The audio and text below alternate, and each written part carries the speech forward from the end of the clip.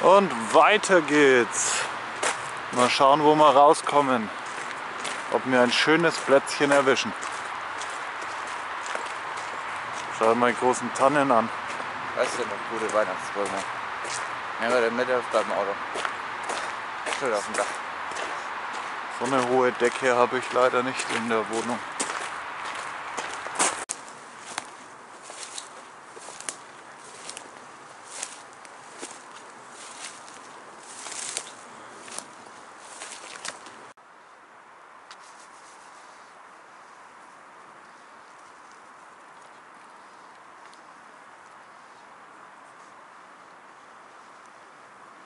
Das ist jetzt Charkloff.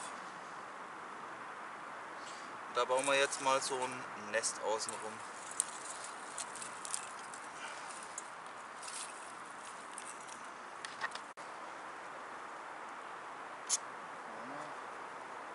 Ich kann noch weiter runtergehen.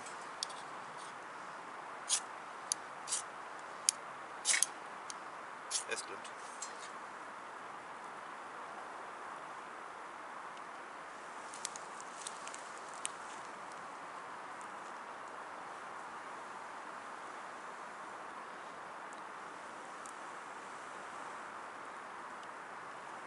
Schon warm.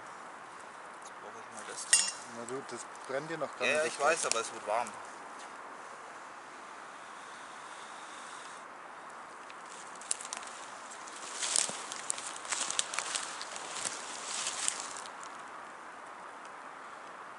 Jetzt hat er.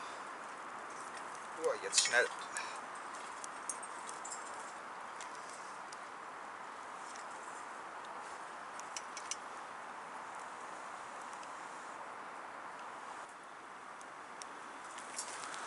So, nachdem wir jetzt den Kocher anhaben, gibt es erstmal einen Glühelch. Denn wir haben ja schließlich Weihnachten und das wollen wir auch gebührend feiern.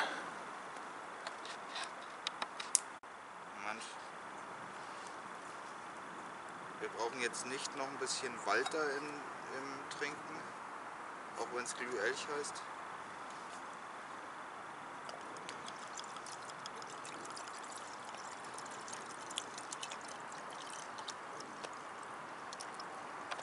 Müsste genug für zwei Tassen sein. Zum Erst.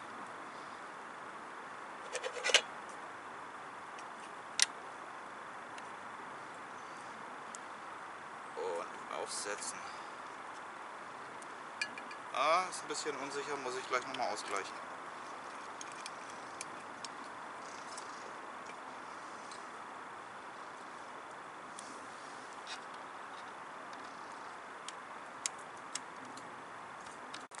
Wie ihr seht, es steig- es steigen, äh, steigen schon leicht Blasen auf und Schaum. Ich muss jetzt erst einmal schnell Holz unterlegen, weil ja, zu wenig ist.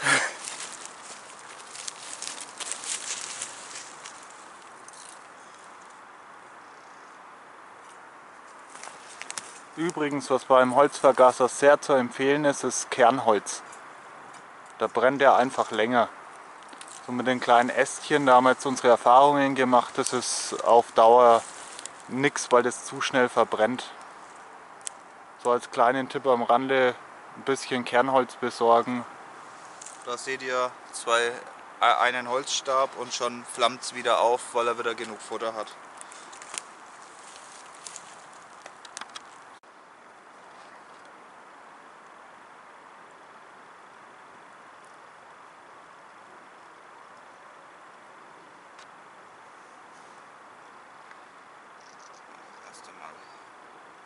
Komplett voll machen.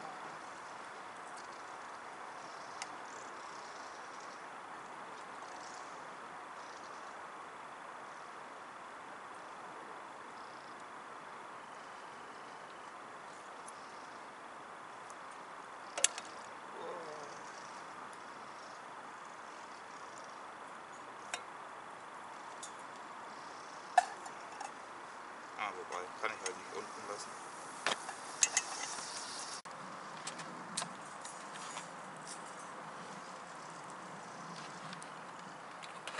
Und noch diese wunderschöne Lagerfeuerstimmung mit dem Holzvergaser. Auch ganz toll. Prost. Prost. Ja, ein weiteres Outdoor-Jahr neigt sich dem Ende.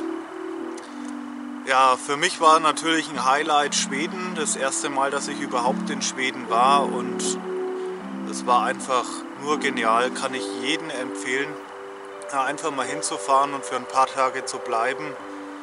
Äh, es ist ein wunderschönes Land und war genial, die ganzen Wildtiere zu sehen, zu angeln und ja, auch mal die Ausrüstung zu testen, die man sich in Deutschland immer nur kauft und dann doch nicht so wirklich ja, benutzen kann.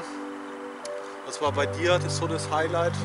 Das Highlight war für mich eigentlich leider nur die Schlucht, weil bisher viel im Jahr passiert ist bei mir. Das heißt, einmal schön im Winter sehen, den Steg oben entlang gehen und dann im Frühling äh, und ähm, durch die Schlucht gehen, wo das ganze Wasser tröpfelt. Mehr Autojahr war für mich eher zukunftsbedingt, das heißt Ausrüstung aussuchen, äh, neue Fertig, äh, äh, neues Fertigessen mal anschauen und ausprobieren zu wollen und wegen Ausrüstung, die ich so hatte, wieder getestet zu haben zwar im Alltag und während der Arbeitszeit, aber dennoch Ausrüstung getestet und dazu werde ich auch noch mal irgendwas erzählen. Ja, ich, mö ich möchte mich auch bei allen bedanken, die auch während der Tour äh, Kommentare da gelassen haben und es verfolgt haben. Es hat mich wirklich sehr gefreut, dass da einige auch fast bei jedem Video dabei waren. Vielen ja. Dank an der Stelle nochmal dass es so gut ankam, hätten wir beide nicht erwartet. Ja, dann wollen wir uns noch bei allen, nicht nur bei allen alten, sondern auch bei allen neuen Abonnenten bedanken, die jetzt mit dabei sind, die das scheinbar auch interessiert, was wir so fabrizieren. Äh, wir wünschen euch allen ein schöne Weihnachten, ein gesundes neues Jahr. Und einen guten Rutsch. Genau, Glück, Gesundheit. Und, und ja, einen schönen Familientag, wenn ihr zusammen seid. Muss nicht bei jedem sein. Also dann bis ins nächste Jahr. Prost. Prost. Und Servus. Servus.